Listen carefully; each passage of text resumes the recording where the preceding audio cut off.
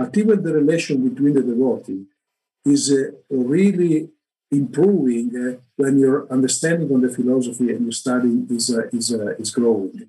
That is a fact. I saw this every day, because sometimes the devotee they they they make quarrel happen. No, you know we know that there's some disagreement between them, and unfortunately, I saw that uh, all this.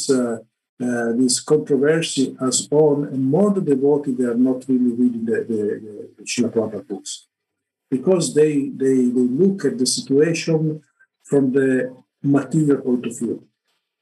So my understanding, your understanding, this understanding, more the people they are tuned you know, on the basis of the, of the spiritual uh, understanding about the understanding of the philosophy, even the relation will become more uh, normal, more distance, and the people they they can uh, really uh, deal each other with it in another level.